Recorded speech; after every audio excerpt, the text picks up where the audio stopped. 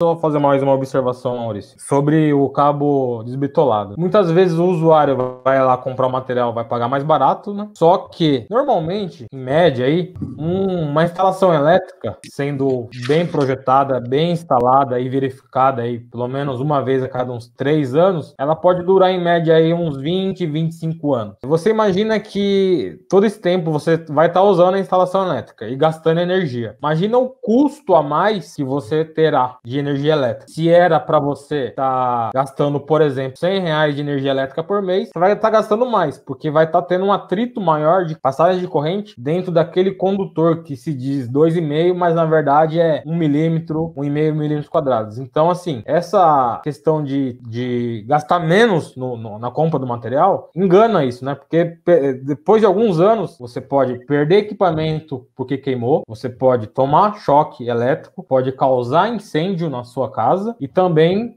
você vai gastar mais energia elétrica. Então, assim, é uma economia não inteligente. Então, é isso que a gente tenta bater na tecla aí de comprar material confiável, né, Maurício? A palavra da vez aí. Você imagina, né, Maurício, uma instalação de um chuveiro, né? Chuveiro aí é 5.500 watts, 7.500 watts.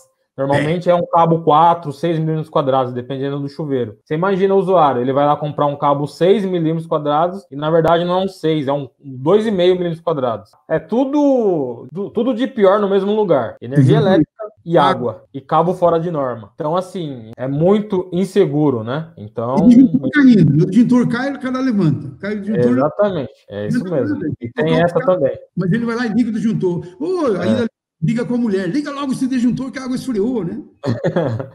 Mas tudo bem. É isso mesmo. e aí acaba dando um problema muito sério. Olha, queria pedir para vocês, sigam a Qualifio, entrem com que nós estamos com um trabalho muito bacana. O trabalho é muito sério, muito bacana. As empresas associadas são muito sérias, são empresas conhecidas no mercado.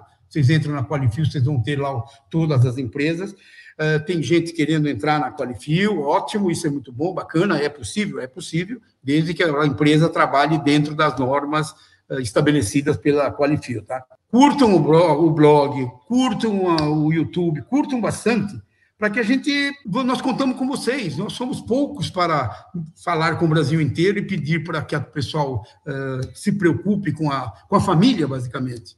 Tá? Sim, sim muito é crítico. E choque elétrico não precisa ser de 220, 127 nem nada. Acima de 50 volts, depende da condição, depende de onde, ou por onde ele entra, por onde ele sai, ele te mata. Imagina uma criança numa tomada, uma criança numa extensão, cheio de plug na extensão. Outra coisa perigosa é ao tirar o plug da tomada. Muita gente já morreu porque ao tirar o plug pegou nos dois, uh, nos dois pinos e toma um choque, porque está duro, aquela é duro para pegar, pega com tudo, quando puxa, acaba dando, tomando um choque. Então, é, é, a gente está tentando, junto com a Barcopel, junto com o Sindicel, tomando umas atitudes fortes aí para ver se a gente consegue uh, fazer isso.